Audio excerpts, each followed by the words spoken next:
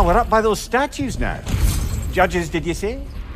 Perhaps the higher planes of Valhalla correspond to the deepest reaches of your memory.